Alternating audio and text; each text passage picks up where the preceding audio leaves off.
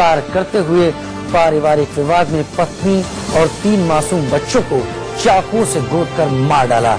आरोपी पति software engineer है, जबकि जान गंवाने वाली पत्नी स्कूल में टीचर थी। बताया जा रहा है कि हत्या करने के बाद आरोपी पति सुमित ने वीडियो बनाया और रिश्तेदारों को वीडियो भेजकर हत्या करने की जानकारी दी। इस वीडियो में ये भी क्या, कहा है कि वो आत्महत्या करने जा रहा है। अब पुलिस पूरे मामले की जाँच में जुटी हुई है। सौ नंबर पे एक सूचना प्राप्त हुई कि एक पति ने अपनी पत्नी और बच्चों को हत्या कर दी मौके से तीनों की डेड बॉडीज को लेकर मॉर्चरी पोस्टमार्टम के लिए भेज दिया गया है। अभी तक की जो जानकारी प्राप्त हुई है, उसके अनुसार पति ने अपने परिवार के सामने ये कन्फेशन किया था कि कुछ दिनों से परेशान चल रहा था और संभवतः आर्थिक तंगी के कारण।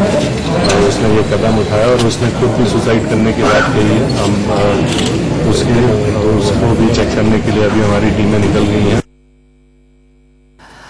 जतिन गोस्वामी ज़्यादा जानकारी के साथ हमारे साथ लाइव गाजियाबाद से जुड़ रहे हैं। जतिन, अब तक क्या पता चल पाया है कि यह सुमित नाम का आरोपी है कहाँ? और क्या पुलिस को उस बारे में और कोई क्लू मिल पाया है कि वजह क्या हो सकती है?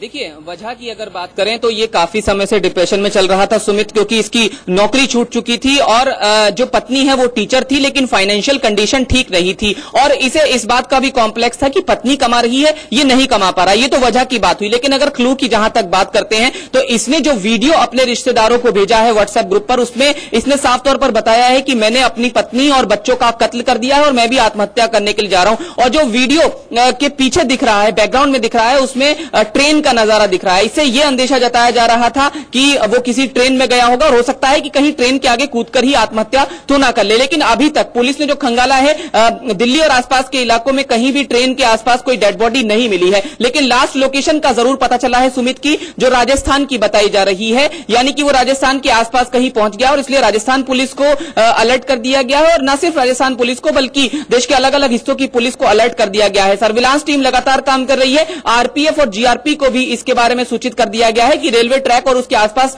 नज़र रखें। कुल मिलाकर बेहद खौफनाक ये कांड अंजाम दिया गया। तीन बच्चों और पत्नी को मौत के घाट उतारने के बाद ये शख्स फरार हो गया और वीडियो भेजकर उसने जब ये जानकारी दी है तो परिवार के पैरों तले की ज़मीन ज़ाहिर तौर पर खिसक गई थी। हम इस वक्त उसी सोसाइटी में मौजूद हैं जहाँ पर यह पूरा कांड हुआ है। इंदिरापुरम की पौष ये है, ज्ञानखंड ये इलाका है और यहाँ पर जिसने भी इस खौफनाक वारदात को सुना वो देखने के लिए ज़रूर आया यहाँ पर और निश्चित तौर पर उसके मन में एक हैरानी थी। हमने लोगों से बात भी की तो उनका कहना है कि कई दिनों से सुमित को देखा गया था कि वो ज़्यादा सिगरेट पी रहा था और खोया खोया रहता था। यानी ये बात डिप्रेशन को साफ़ करती है लेकिन इस तरह का कदम वो उठा लेगा ये किसी ने नहीं सोचा था। जी। जतिन के सुमित के घर वालों से संपर्क साधने की पुलिस ने कोशिश की अब तक किसी तरह की।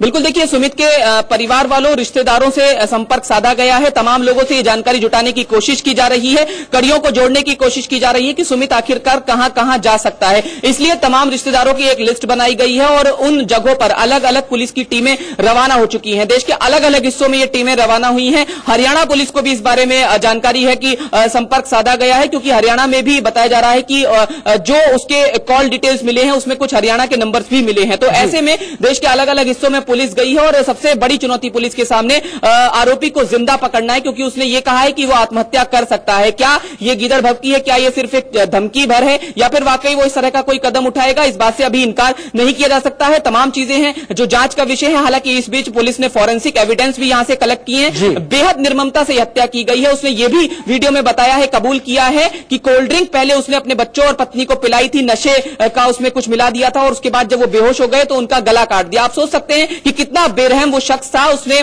भले ही डिप्रेशन में था, लेकिन बेहद खौफनाक तरीके से पूरी फैमिली का खात्मा कर दिया। जी। जी हाँ जतिन उम्मीद कर रहे हैं कि पुलिस जल्दी ज़ीरो इन कर लेगी कि आखिर सुमित इस वक्त है कहाँ उसकी तलाश पूरी कर लेगी। बहुत शुक्रिया इस तमाम जानकारी के लिए, जतिन।